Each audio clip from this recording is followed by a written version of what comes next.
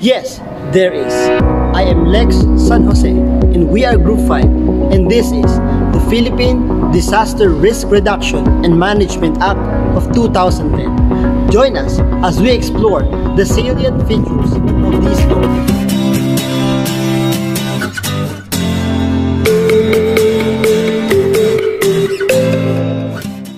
Disaster is a serious disruption of the functioning of a community or a society involving widespread human, material, economic, or environmental losses and impacts, which exceeds the ability of the affected community or society to cope using its own resources. Disasters are often described as a result of the combination of the exposure to a hazard, the conditions of vulnerability that are present, and insufficient capacity or measures to reduce or cope with the potential negative consequences. Disaster impacts may include loss of life, injury, disease, and other negative effects on human physical, mental, and social well-being together with damage to property, destruction of assets, loss of services, social and economic disruption, and environmental degradation. Disaster risk is the potential disaster losses in lives, health status, livelihood, assets, and services which could occur to a particular community or society over some specified period of time. Disaster risk reduction is the concept and practice of reducing disaster risks through systematic efforts to analyze and manage the causal factors of disasters. Disaster risk reduction may be carried out by reducing exposures to hazards, lessen vulnerability of people and property, wise management of land and the environment, and improved preparedness for adverse events. Disaster risk reduction aims to reduce the damage caused by natural calamities like earthquakes, floods, cyclones, and other disasters through an ethic of prevention.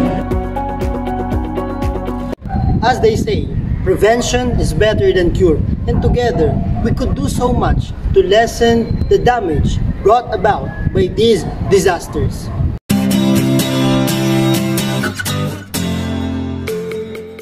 The Hyogo Framework for Action is a United Nations initiative that provided the global blueprint for DRRM to substantially reduce disaster losses.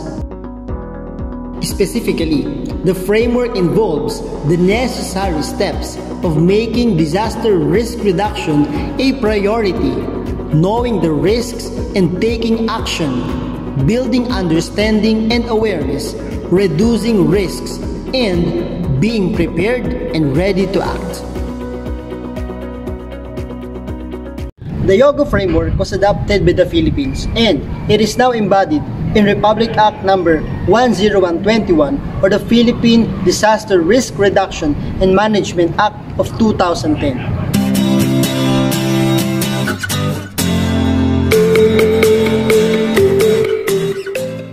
Our former law on disaster relief and response, Presidential Decree 1566, had a top-down centralized disaster management which considers disasters as a function of physical hazards.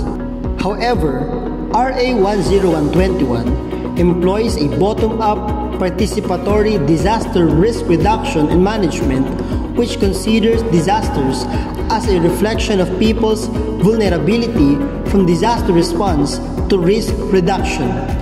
The former law, therefore, performs a reactive, while the latter law performs a proactive role as regards disaster management. RA 10121 was signed into law on May 27, 2010, and the implementing rules and regulations was approved three months thereafter.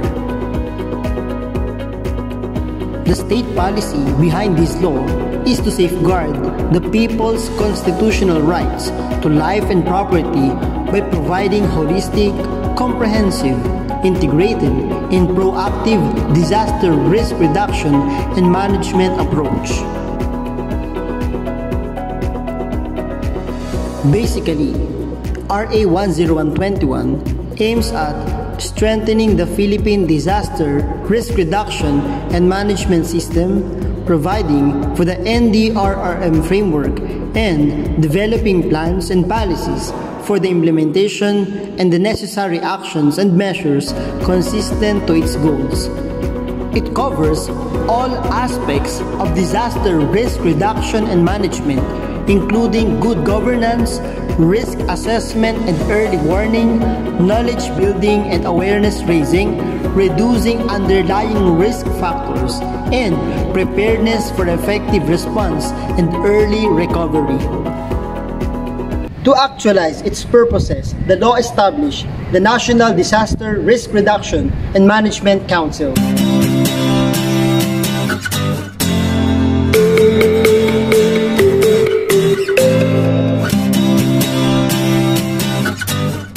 The National Council is headed by the Secretary of the Department of National Defense.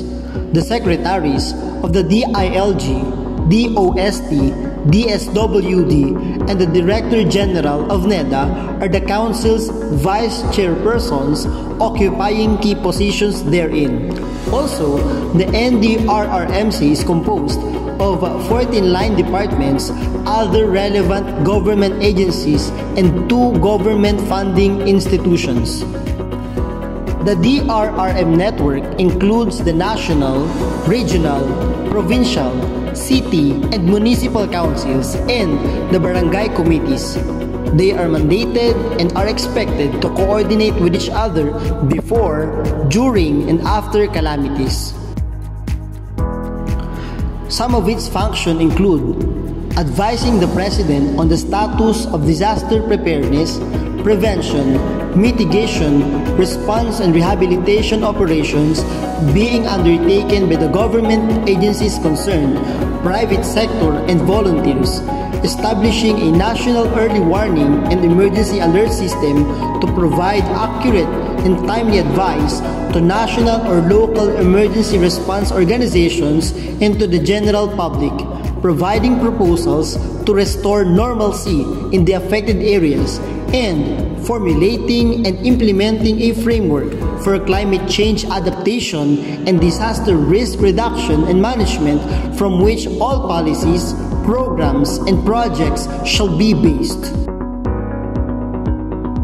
As the situation in any barangay, municipality, city, province, or region requires, the National Council shall recommend to the President to place the same under a state of calamity.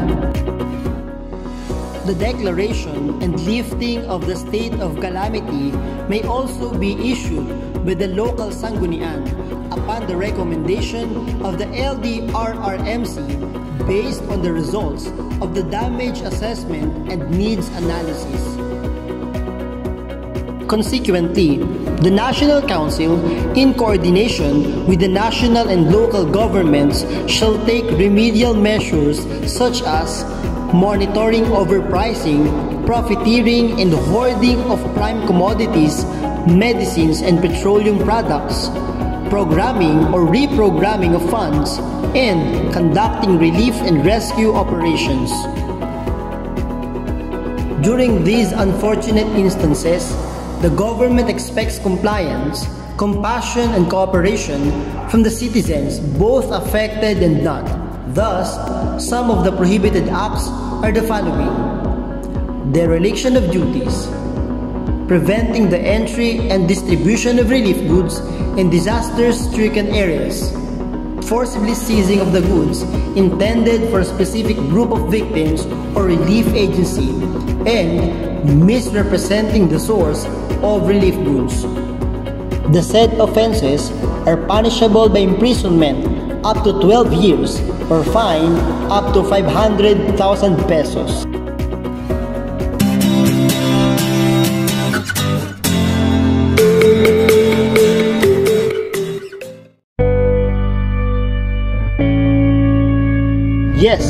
There is hope. As Stephen Hawking said, however bad life may seem, there's always something you can do and succeed at. When there is life, there is hope. Indeed, the onslaught of natural disasters are unavoidable, but with proper coordination, constant communication, and consistent cooperation, we could mitigate its damage. If together we could, then together we should. I am Lex San Jose, and we are Group 5. Thank you for listening.